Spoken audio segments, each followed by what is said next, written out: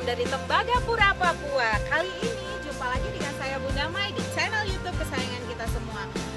Yuk, kita bikin sesuatu yang menarik yang semua pastinya disuka oleh anggota keluarga, yaitu ayam bumbu kuning.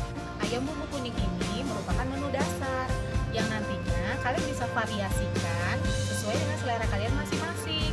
Kalaupun kalian mau menggorengnya langsung, itu sudah sangat enak. Nanti bisa ditambah dengan sambal terasi